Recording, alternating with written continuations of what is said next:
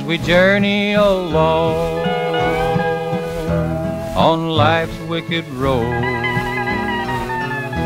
So selfish are we for silver and gold. You can treasure your wealth, your diamonds and gold. But my friends, it won't save your poor wicked soul.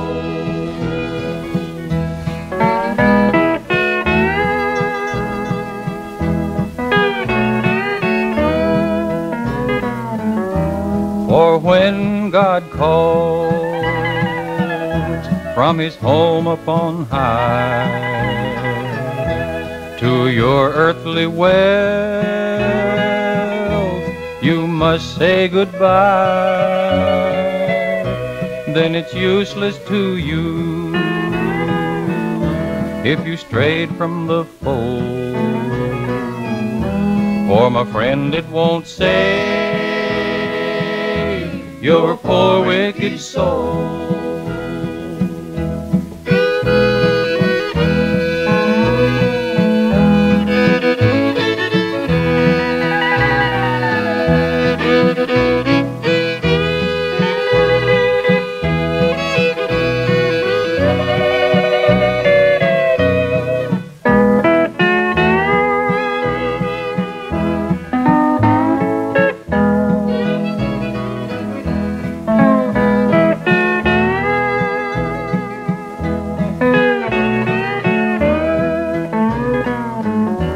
The rich man like Paul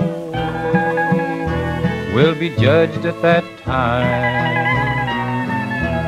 but all of his wealth